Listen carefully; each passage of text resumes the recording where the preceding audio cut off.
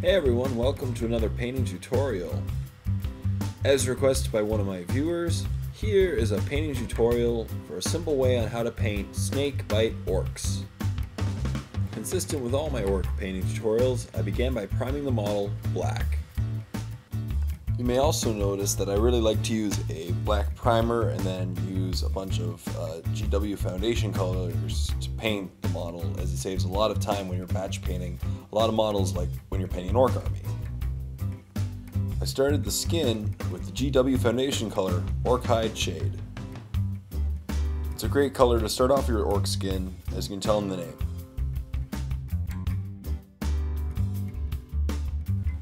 I then went over the skin with the first highlight of another GW foundation color, Knarloc Green. I just tried to focus on the outer parts and not the recesses of the skin.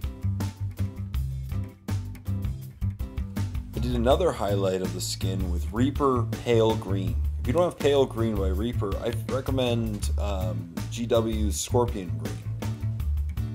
However, this ends up bringing the skin to a really, really light color, so to bring it down, I did a Thraka green wash on the entire skin.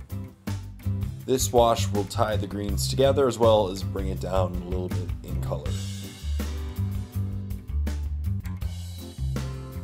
And finally, to finish off the skin, I did one more highlight with Reaper Pale Green. Uh, once again, if you don't have Reaper Pale Green, just use GW's Scorpion Green. Now that the skin is done, it's time to focus on the clothing. So the snake bites tend to use er more earthy tones, primarily different shades of brown. So I started off by painting all of the clothing with a base coat of Khemri Brown. This foundation color will color cover up all the blacks and then what we'll do is we will go one shade lighter for one set of clothing and one shade darker for another. For the pants, I did a couple very quick watered down coats of bleached bone. Once again, if you're only using bleached bone on the black, uh, tend, it tends to go in very, very thin. So the best thing you can do is to do the first color with Khemri Brown, and then the um, bleached bone will go on very easily. I then did his shirts, um, snakebite leather. As you can tell in the name, it fits perfectly with the snakebite clan.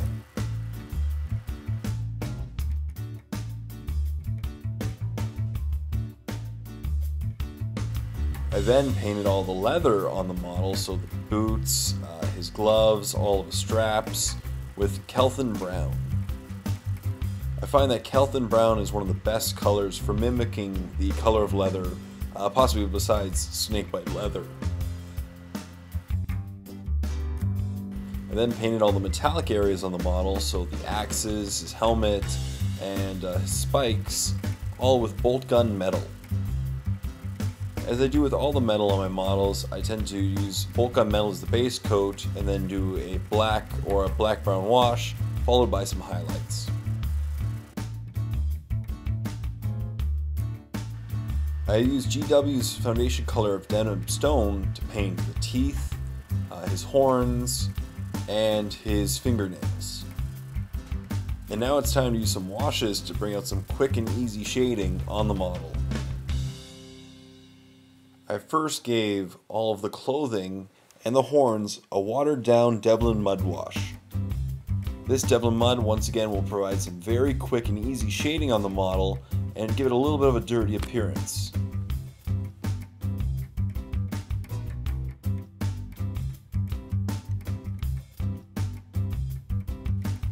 I then gave all the metallic areas a black brown wash consisting of a 50-50 mix of Badab Black and Devlan Mud.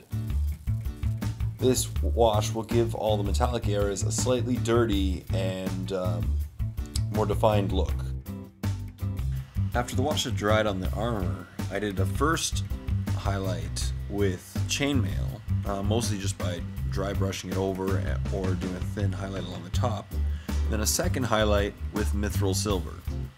Uh, these two highlights will just bring out a little bit of the detail in these metal areas. And finally, I just painted a little bit of war paint on the model uh, using blood red and enchanted blue, as well as painting the eyes uh, blood red as well. Anybody who collects uh, Snakebites know that they really love their war paint, so just add uh, you know whatever pattern you want. As you can see, I added some blue lines on his face and also some um, red vertical lines.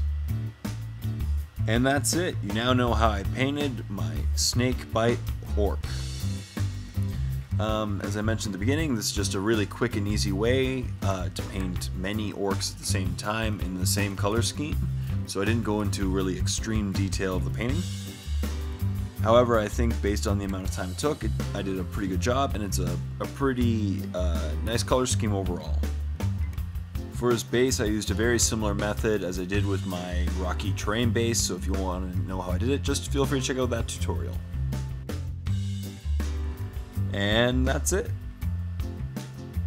So as always, thank you very much all you people out there for watching and subscribing to my videos. And if you haven't subscribed already, feel free to subscribe to my videos and leave comments below. Also, you can follow my blog at paintingwithj.blogspot.com for more weekly updates, and tutorials, and reviews, as well as a list of all my upcoming painting tutorials. So until next time, this is Miniwargamer Jay saying, happy painting everyone. Overall, I'd have to say that I really enjoyed painting Trazyn the Infinite, and I didn't find them very hard at all to paint, given the amount of effort that I, I put in.